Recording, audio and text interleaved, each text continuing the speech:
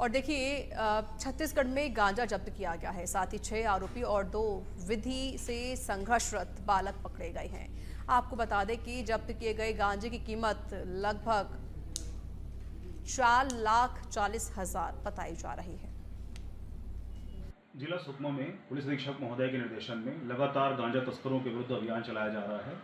उक्त अभियान कार्रवाई के तहत कल मुखबिर सूचना के द्वारा हमें जानकारी मिली कि एक बस में कुछ लोग सवार होकर अपने साथ गांजा लेकर आ रहे हैं। उक्त सूचना की तस्दीकी और कार्रवाई हेतु कोंटा पुलिस द्वारा नाका के पास बस को रोका गया और चेक किया गया, जिसमें कि आठ लोगों के पास से, उनके बैग में से गांजा बरामद हुआ।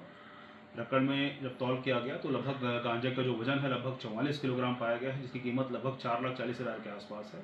और इसमें छः लोग को हिरासत में लिया गया है तथा दो लोग जो हैं इसमें विधि से संघर्षरत बालक हैं। इनके विरुद्ध विधि सम्यक कार्रवाई की जाएगी। जिन लोगों को हिरासत में लिया गया, गिरफ़्तार किया गया है, उनके नाम है भावेन मंडल, जो कि मलकानगिरी, उड़ीसा के रहने वाले हैं। कपिल उर्फ़ ऋतिक मल्होत्रा, दिल्ली के रहने वाले हैं। गोविंद बच्छाड़ पिता सुकुमार बच्छाड़ मलकानगिरी, उड़ीसा के रहने वाले हैं। अविनाश, पिता जसवंत कुमार ये भी दिल्ली के रहने वाले हैं। सागर, पिता जय सिंह ये भी दिल्ली के रहने वाले हैं। चिंटू माझी, पिता बिज्जू माड़ी, ये मलकानगिरी, उड़ीसा के रहने वाले हैं।